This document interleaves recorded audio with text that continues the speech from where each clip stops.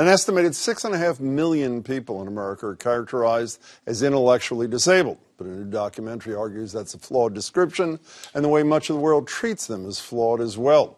The film follows three amazing people, all navigating their individual worlds and leading, as the movie's title underscores, intelligent lives. Naomi, a young woman trying to join the workforce. Nair, a high school student with a passion for art. And Micah, a teaching assistant at Syracuse University. Lots of people in society probably like uh, still think that people with disabilities are not like not like included in their like town or in their family, and some people uh, still have the mindset of sending them away. I like saw a sheet of paper in the mail that said I had a uh, 40, 40 IQ.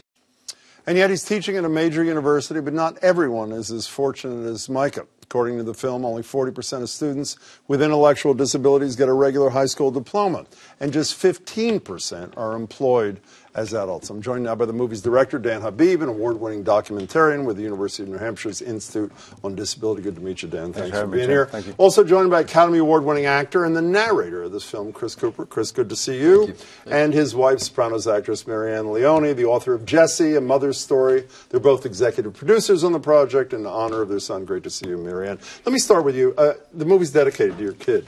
For those who didn't read your book and haven't read your op eds and things, tell us a little bit about the trajectory of your son's life. Well, uh, Jesse was born premature, 10 weeks early, and um, on the third day of his life, he had a massive cerebral hemorrhage, which made him quadriplegic and nonverbal because, despite what it seems like on television, um, you need those muscles to be able to speak. And um, uh, what happened was when we moved here for him to go to school, and uh, we moved to a town where inclusion was not the norm. And so we had to deal with testing. And that's what made us interested when Dan brought this up to us, because Jesse was eventually tested the right way with a computer and with supports in place and was in the 99th percentile. He then went on to go to school. He was a Latin scholar, he was a poet, he was a straight A student. However, when he was first tested, he was. Um, in the room, six years old, for two hours, no adaptations for his disabilities, which is like me holding up uh, Joyce's Ulysses for you in Aramaic and making, I don't know, maybe you read Aramaic and saying, oh, you can't read it, you must be intellectually disabled. So that's what happened to him. And Chris, in the beginning of the narration of this thing, you talk about the use and misuse of IQ tests in the, what, 115 or so years. Give us a synopsis of the ebbs and flows of this test. Well, uh, as an example, Jesse was given, it was the Stanford Binet IQ test. And it's very, as I think we suggested, the wording was very antiquated. I don't know, how far did it go back to the 30s when it was uh, initiated? But Jesse was given questions like, Jesse, do you dust a dresser? Now, Jesse's quadriplegic. He doesn't dust.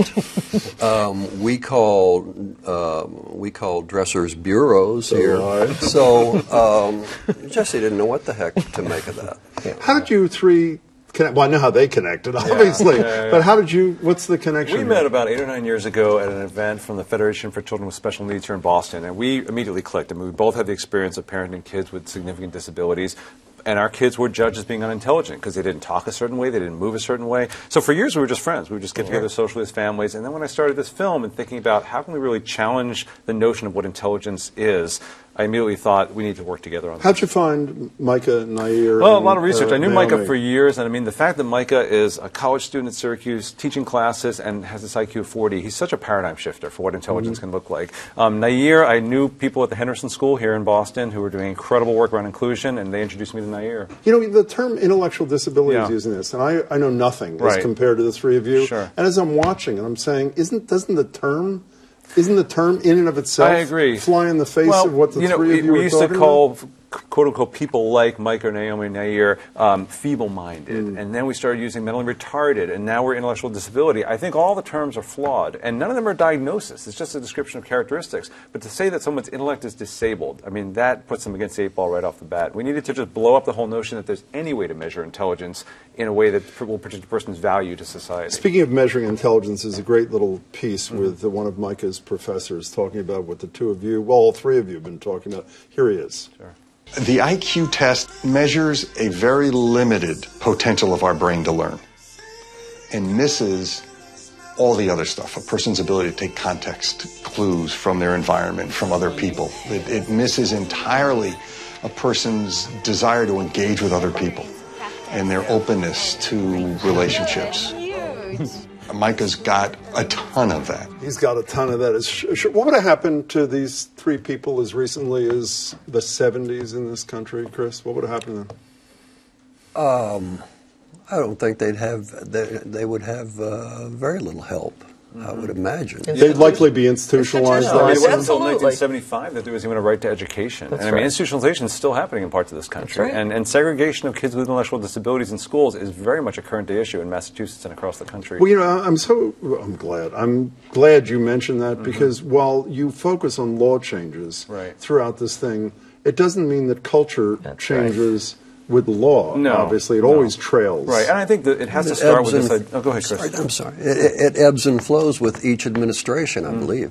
Yeah, that to an degree, and I think it, it is a philosophy around presuming competence. So many people see someone that navigates the world differently, and they presume that person is not competent to be a friend in a relationship, or in the workplace, in the school. If you presume that someone's competent, you start from a whole different point of view about who that person could be in But the future. I, I can't tell you how much I learned from this film, as well as much as moved by it. And I would like to think I'm not unkind, but I'm unknowing. And you know, Mm. learn not only meeting these three young people up front, but learning a lot of the things you talk about in this film helped change me. Actually, Mm. Chris. We too. were we were as ignorant. We had to educate ourselves. We had to go find parents who were a little bit older, whose child was a little bit older in before the age of computers. We had to go to these people, phone calls or, or, or whatever, and they had to tell us what to expect because we didn't know. Yeah. You know, one of the things that comes away from this, which makes me both happy from the film and also makes me nervous,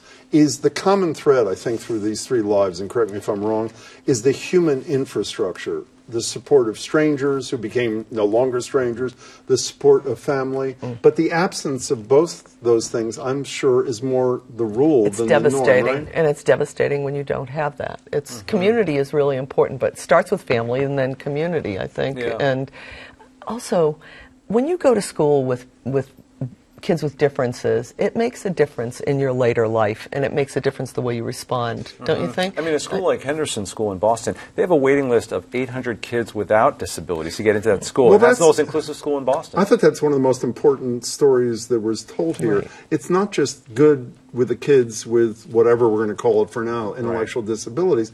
It, when you look at the faces of the kids without intellectual Yeah. disabilities and see their relationships, Well, that's so You know, we say we value diversity in our society, but we often focus on ethnic diversity. You know, sexual orientation and is, is very important. But if you look at big movements like the Me Too movement or Black Lives Matter, if you don't understand the history of segregation in our country around race, around gender, you don't understand those current day movements. We need to understand the history around segregation, around disability as well, to understand the movement for inclusive education and inclusive employment. And hopefully that kind of thing works on strangers. But you know, I read stories about the two of you with your kid. It's just, it's otherworldly. I want pictures of the two of you.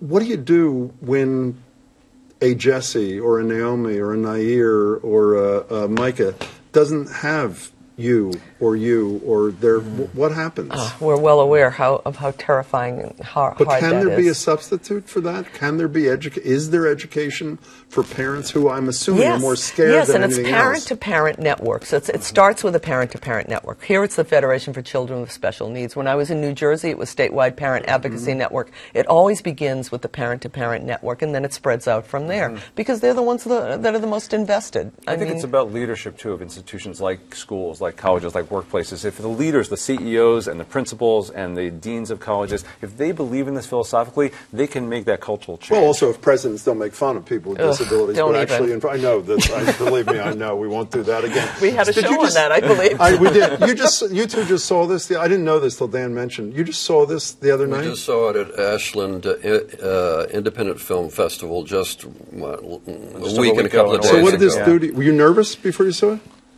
Uh, very nervous. Didn't never saw the. Uh, uh, so, so I had lent my voice to this to this film as narrator, and um, hadn't seen the finished product. So we saw it a So, and- week and a month ago. and what'd well, you feel? we were we were dish rags. We were we were So was knocked I. out. And then immediately after this film, after we see the film, we got to go up on stage and talk about it. You know. Yeah. Dish rag here too. Oh, absolutely, especially dedicated to Jesse Cooper. It was, and you had video that I forgot I had sent you. It was. Right.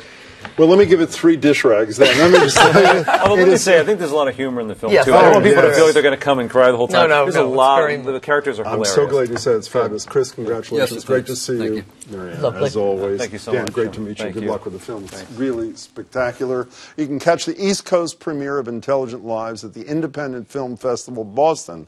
It's this Friday at 7.30 at the Somerville Theater. There's also a New Hampshire screening next month and another Boston screening coming up in June. You can find information about all these events and more online at intelligentlives.org.